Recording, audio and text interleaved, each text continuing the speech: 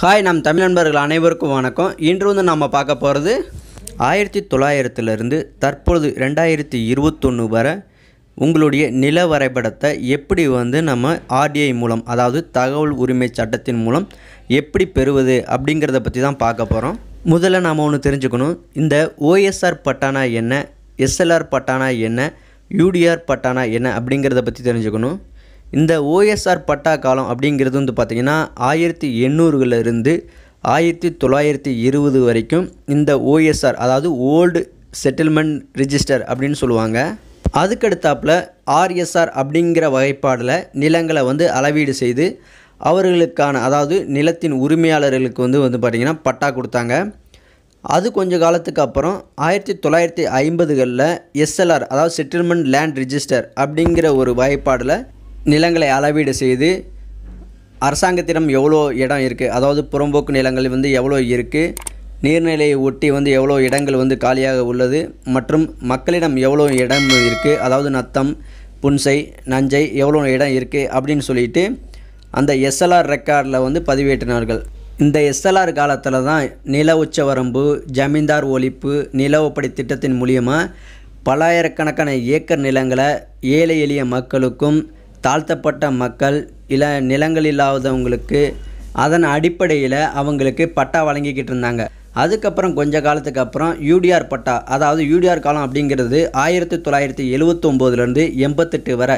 இந்த யூடிஆர் காலத்தில் எஸ்எல்ஆர் காலத்தில் வந்து விட்டு போன இடங்களை திரும்பவும் அளவீடு செய்து திரும்பவும் அந்த அனுபவ பார்த்தியும் யார் யார் வந்து உழுதுகிட்டு இருந்தாங்களோ அவங்களுக்கே இடத்த கொடுத்தாங்க. அதுக்கப்புறம் இடம் இல்லாதவங்களுக்கு வந்து அவங்களுக்கு நிலங்கள் வந்து கொடுத்தாங்க. இப்படி திரும்பவும் வந்து ரீசெட்டில்மெண்ட் பண்ணி திரும்பவும் வந்து யூடிஆர் காலத்தில் ஒரு பட்டா கொடுக்க ஆரம்பித்தாங்க இதில் தான் வந்து பார்த்திங்கன்னா நிறைய குளறுபடிகள் நேம் டிரான்ஸ்ஃபர் மற்றும் பார்த்திங்கன்னா பட்டா மாறுதலில் நிறைய வந்து மாற்றங்கள் ஏற்பட்டுச்சு. அப்படி யூடிஆர் காலத்தில் ஒவ்வொரு கிராமமாக அதாவது கிராமம் கிராமமாக போய் சென்று எழுத்துப்பூர்வமாக இலவச பட்டா மற்றும் வந்து பார்த்திங்கன்னா அனுபவ பாத்தியா பட்டா இல்லை பட்டா இல்லாதவங்க வந்து அப்ளை பண்ணும்போது அவங்களுக்கு வந்து இலவச பட்டாவும் வந்து வழங்கினார்கள். அப்படி யூடிஆர் காலத்தில் அந்த அனுபவ பாத்திய பட்டா கொடுக்கும் போத நிறைய உரிமையாளருக்கே தெரியாமல் அவங்களுடைய இடங்கள் வந்து கைமாறப்பட்டது. இப்படி யூடிஆர் காலத்தில் பட்டா மாறுதலின் போது உண்மையான சொத்தின் உரிமையாளர்கள் வந்து பார்த்திங்கன்னா நிறைய பேர் பாதிக்கப்பட்டாங்க.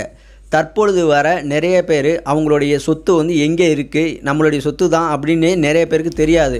சரி அப்படி இப்படின்னு அங்கங்கே விசாரித்து நம்ம சொத்து தான் அப்படின்னு சொல்லி விசாரித்து போனால் அந்த இடத்துல யாரோ ஒருத்தவங்க இருப்பாங்க.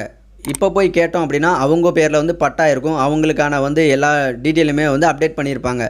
அப்படி இருக்கும் பட்சத்தில் நம்மளுடைய சொத்து தான் நிரூபிக்கிறதுக்காக தகவல் உரிமை சட்டத்தின் மூலிமா எப்படி அப்ளை பண்ணி யூடிஆருக்கு முந்தைய ஆவணங்களை பெறுவது அப்படிங்கிறத பற்றி தான் பார்க்க போகிறோம் அதுக்கு முன்னாடி நம்ம சேனலோட வீடியோவை இப்போ தான் நீங்கள் முத முதல்ல பார்க்குறீங்க அப்படின்னா மறக்காமல் சப்ஸ்கிரைப் பண்ணுங்கள் கூடவே பெல்லைக்கானை ப்ரெஸ் பண்ணிக்கோங்க. அப்போ தான் நம்ம போடுற ஒவ்வொரு வீடியோவும் உங்களுக்கு வந்து நோட்டிஃபிகேஷனில் வரும். சரி வாங்க போய் பார்க்கலாம். நீங்கள் தகவல் உரிமை சட்டத்தின் மூலியமாக நீங்கள் தகவல் பெறுவதற்கு இந்த மாதிரி விண்ணப்பத்தை விண்ணப்பித்து தான் நீங்கள் வந்து தகவல் பெற முடியும்.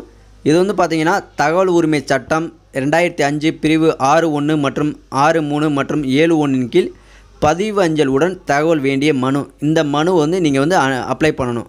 அது எப்படி அப்ளை பண்ணுறதுன்னு தான் பார்க்கலாம். இப்போ வந்து அனுப்புனர் அப்படிங்கிற இடத்துல வந்து உங்களுடைய பேர் வந்து போட்டுருங்க.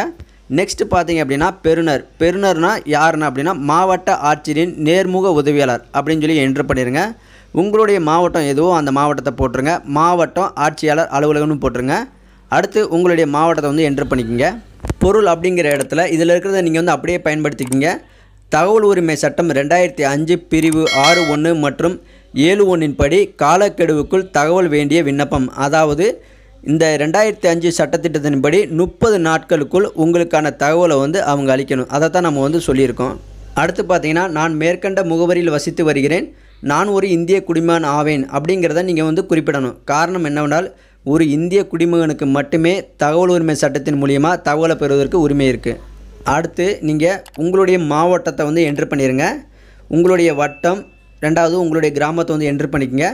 அதுக்கப்புறம் உங்களுடைய பழைய புலையன் இல்லைனா புது புலையன். ரெண்டுமே வந்து என்ட்ரு பண்ணீங்கன்னா சிறப்பு. காரணம் என்னவென்றால் பழைய புலையன் வந்து மாற்றி கம்ப்யூட்டர் பட்டா நம்பர் கொடுத்துருப்பாங்க. அதனால் இரண்டு நம்பருமே தெரிஞ்சிருந்தால் உங்களுக்கு வந்து ரொம்பவே சிறப்பாக இருக்கும்.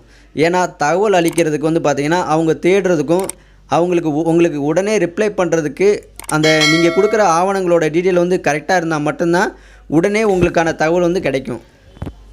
இதெல்லாம் முடித்ததுக்கப்புறம் நம்ம வந்து என்னென்ன டீட்டெயில் கேட்குறோம் அப்படின்னா அதாவது முந்தைய பட்டா யூடிஆருக்கு முந்தைய காலத்து எஃப்எம்பி ஸ்கெட்ச் வந்து நம்ம கேட்டிருக்கோம்.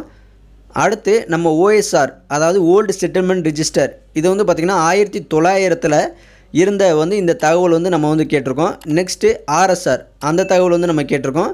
நெக்ஸ்ட்டு வந்து பார்த்திங்கன்னா எஸ்எல்ஆர் எஸ்எல்ஆர் காப்பியும் நம்ம வந்து கேட்டிருக்கோம். அதுக்கப்புறம் இப்போ தற்பொழுது நடந்துக்கிட்டு இருக்கிற யூடிஆர் காலத்து அந்த சிட்டா நகல் அதுவும் நம்ம வந்து கேட்டிருக்கோம். யூடிஆர் ஏ ரிஜிஸ்டர் அதாவது ஃபஸ்ட்டு கையேட்டில் வந்து பார்த்தீங்கன்னா எழுதி கொடுத்துருப்பாங்க. அந்த ரிஜிஸ்டர் தகவலையுமே வந்து நம்ம கேட்டிருக்கோம். இப்படி இந்த தகவலை வந்து நம்ம கேட்கும் போது வந்து பார்த்தீங்க அப்படின்னா ஒரு சில நேரம் வந்து மாவட்ட அந்த வருவாய் அலுவலகத்தில் வந்து இருக்காது. ஒரு சில ஆவணங்களை வந்து தாசில்தார் கொடுப்பாங்க. இன்னும் ஒரு சில ஆவணங்கள் வந்து மாவட்ட பதிவுத்துறை கொடுப்பாங்க. இன்னும் வந்து ஒரு சில ஆவணங்கள் வந்து பார்த்திங்கன்னா பழைய ஆவணங்கள் வந்து சென்னையில் இருக்கிற சேப்பாக்கத்தில் லேண்ட் சர்வே அந்த ஆஃபீஸில் தான் இருக்கும். ஒரு சில ஆவணங்கள் வந்து நீங்கள் வந்து பெறணும் அப்படின்னா அந்த ஆஃபீஸ்க்கு வந்து நீங்கள் வந்து முறையிட்டால் மட்டுமே உங்களுக்கான பழைய ஆவணங்கள் வந்து கிடைக்கும். சரிப்பா என்னுடைய பழைய ஆவணங்களை வந்து நான் எப்படி தெரிஞ்சுக்கிறது? என்னுடைய லேண்ட் ரெக்கார்டு பழைய ரிஜிஸ்டர் ரெக்கார்ட்லாம் வந்து எப்படி தெரிஞ்சுக்கிறது? யாருக்கிட்ட போகிறது எங்கே வந்து மண் அளிக்கிறது அப்படின்னு கேட்டிங்கன்னா உங்களுடைய மாவட்ட பதிவுத்துறையில் தான் போயிட்டு ஃபஸ்ட்டு வந்து நீங்கள் ரிஜிஸ்டர் பண்ணணும். அதாவது அங்கே தான் போயிட்டு உங்களுடைய தகவல் உரிமை சட்டத்தின் மூலிமா தபால் வந்து அனுப்பணும். அதன் மூலியமாக ஒரு சில குறிப்புகளை வந்து நீங்கள் குறிப்பிடும் பொழுது அவங்க நீங்கள் இந்த தகவலை வந்து பெறுவதற்கு எங்கே வந்து நீங்கள் மேல்முறையீடு செய்யணும் அப்படின்னு சொல்லிட்டு அவங்களுடைய அட்ரஸ் வந்து அனுப்புவாங்க. அதன் மூலியமாக வந்து உங்களால் வந்து பார்த்திங்கன்னா மேல்முறையீடு மூலமாக அடுத்த அதாவது அதுக்கடுத்த ஸ்டெப்பு இவங்கக்கிட்ட வந்து ரெக்கார்டு இல்லை. எங்ககிட்ட வந்து அந்த ரெக்கார்டை வந்து நாங்கள் மெயின்டைன் பண்ணலை. இந்த ரெக்கார்டை வந்து அழிஞ்சு போச்சு. இப்படிப்பட்ட பல குளறுபடியான பதில்களை நீங்கள் சந்திக்க நேரிட வேண்டியிருக்கும். இப்படி இருக்கும் பட்சத்தில் அடுத்து நான் யாருக்கிட்ட வந்து மேல்முறையீடு செய்வது? அந்த அட்ரஸ் வந்து யாருக்கிட்ட வந்து பார்க்குறது யாருக்கிட்ட வந்து தகவல் வந்து பெறுவது அப்படின்னு கேட்டிங்க அப்படின்னா உங்களுடைய விண்ணப்பத்திலே வந்து அந்த பின்குறிப்பு வந்து எழுதணும். அதாவது ஐயா நான் கோரிய மேற்படி ஆவணங்கள் தங்களுடைய அலுவலகத்தில் இல்லாத பட்சத்தில் ஆர்டிஏ ஆக்ட் ரெண்டாயிரத்தி அஞ்சு பிரிவு உட்பிரிவு மூணின் கீழ் மேற்படி ஆவணங்கள் இருக்கும் அலுவலகத்துக்கு எனது கடிதத்தை அனுப்பி அவங்கக்கிட்ட வந்து அவங்கக்கிட்ட இருந்து என்னுடைய தகவலை வந்து பெற்றுத்தரும்படி தாழ்மையுடன் கேட்டுக்கொள்கிறேன். அப்படின்னு சொல்லிட்டு நீங்கள் வந்து அந்த லெட்டரில் வந்து குறிப்பிடணும். இப்படி குறிப்பிடப்படும் பட்சத்தில் உங்களுக்கான தகவல் அந்த மேல்முறையீட்டு அலுவலரிடமிருந்து உங்களுக்கான தகவல் வந்து கிடைச்சிரும். அப்படி கிடைக்காத பட்சத்தில் உங்களுடைய தகவல் விண்ணப்பத்தின் மூலியமாக அந்த மேல்முறையீட்டு அலுவலரோட அட்ரஸை வந்து அனுப்பி வைப்பாங்க. அவங்களுக்கு நீங்கள் வந்து மேல்முறையீடு விண்ணப்பத்தை வந்து திரும்பவும் வந்து அளிக்கணும். இதன் மூலிமா உங்களால் உங்களுக்குரிய அந்த எஃப்எம்பி ஸ்கெட்சாக இருக்கட்டும் மற்ற ஆவணங்கள் அனைத்துமே வந்து ஈஸியாக உங்களுக்கு வந்து கிடைக்கும். இந்த மெத்தடை ஃபாலோ பண்ணி ஈஸியாக உங்களால் வந்து அனைத்து தகவலுமே வந்து பெற முடியும். இந்த ஃபார்மேட்டை வந்து பார்த்திங்கன்னா நம்ம டிஸ்கிரிப்ஷனில் வந்து கொடுத்துருக்கேன். அது வேர்ட் ஃபைலில் தான் இருக்குது உங்களால் உங்களுக்கு தேவையான தகவலுக்கு அனைத்து தகவலுக்குமே வந்து பார்த்திங்கன்னா இந்த ஆர்டிஐ அதாவது தகவல் உரிமை விண்ணப்பத்தை வந்து நீங்கள் வந்து யூஸ் பண்ணிக்க முடியும்.